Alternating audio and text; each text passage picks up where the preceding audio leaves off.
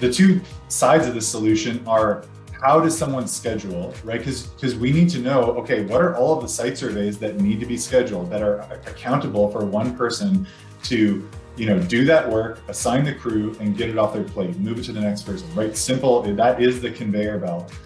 The second thing is how does that show up for the person that's actually executing the work? And ideally, we want to make not only the handoff, but the plugging in of the site surveyor as easy and you know frictionless as possible. And so, you know, if we come back into Scoop, first I want to talk about the scheduling view, right? So if we just kind of zoom um, back into like, let's look at that Alex Hahn project. It's been assigned to Jackie. So Jackie's gotten a notification. Jackie knows that this is in scheduling and you're the lead. It's accountable to you.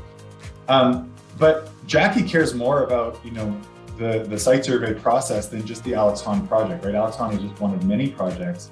And so in Scoop, Jackie would likely have a filter that is looking at all of the site surveys that are in a specific stage. In this case, it's scheduling and this now becomes Jackie's backlog of like, okay, here's all the site surveys that I need to basically get off my plate and move into a working phase.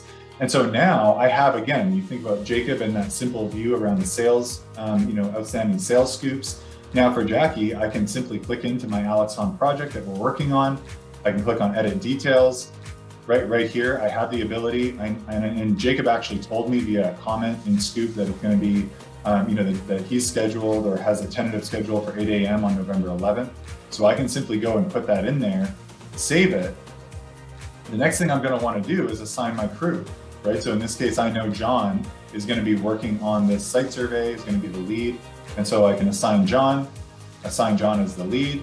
And, you know, at this point, my small input for this project is being completed. And the only thing I have left to do, because John's now gotten a notification letting them know that they're up, they're the lead, is setting it to working.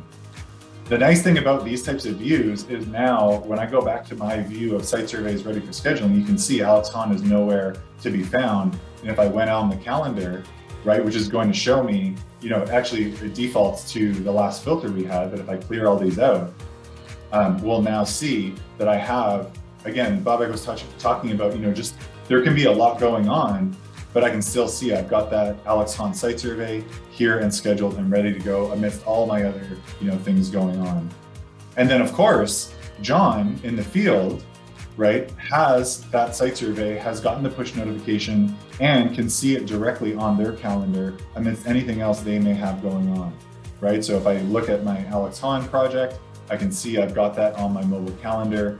Um, again, one of the big benefits here is I can go right from opening up Scoop, looking at my calendar, tapping on that event, and I'm right into the work with all of my global fields and now, of course, kind of my standard set of checklist items.